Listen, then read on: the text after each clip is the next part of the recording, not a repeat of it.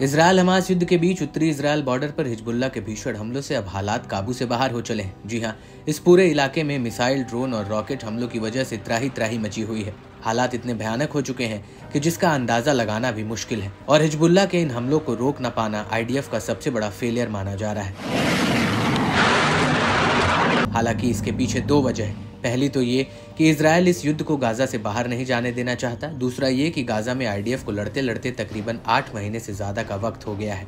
ऐसे वक्त में इजरायली सैनिक युद्ध की वजह से काफ़ी थक चुके हैं और उत्तरी मोर्चे पर हिजबुल्ला को अपने पाँव पसारना इसकी सबसे बड़ी वजह है।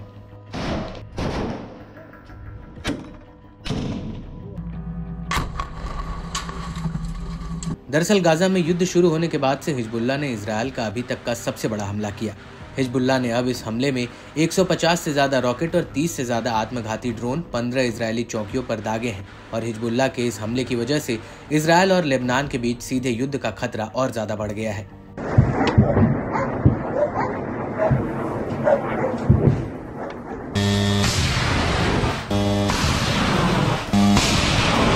दरअसल हाल ही में आईडीएफ ने केयर स्ट्राइक में हिजबुल्ला के सीनियर कमांडर तालिब अब्दुल्ला को मार गिराया था और तब से ही हिजबुल्ला बदले की आग में बौखलाया हुआ है और हालिया हमले को लेकर भी हिजबुल्ला का कहना है कि उसने ये हमले अब्दुल्ला का बदला लेने के लिए किए हैं।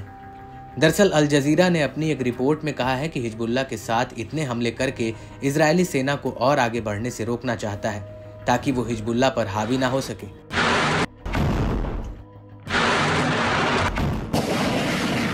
यही वजह है कि हिजबुल्ला ने कब्जे वाले गोलन हाइट्स को मिलकर कई सैन्य चौकियों पर हमले किए हैं। वहीं इन हमलों को लेकर इजरायली मीडिया का कहना है कि इन अटैक्स में कम से कम दो लोग घायल हुए हैं, जबकि पंद्रह जगहों पर आग लग गई है।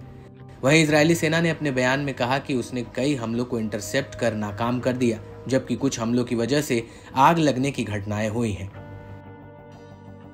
आपको बता दें कि हिजबुल्ला ने इन हमलों के कुछ वीडियो भी जारी किए हैं। इनमें से एक वीडियो में हिजबुल्ला ने आईडीएफ के वाहन को निशाना बनाया है। वीडियो में दिख रहा है कि हिजबुल्ला का एक लड़का लॉन्चर से एंटी टैंक मिसाइल फिट करके उसे फायर कर रहा है और ये मिसाइल आईडीएफ की एक गाड़ी पर जा लगती है।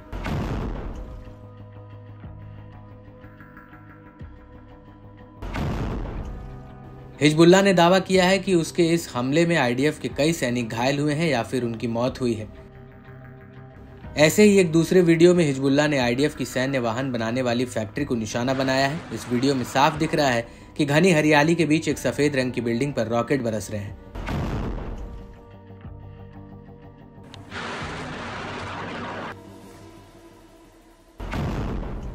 इसके बाद तीसरे वीडियो में हिजबुल्ला के लड़ाके हैवी मशीन गन से आईडीएफ पर हमला करते हुए दिख रहे हैं।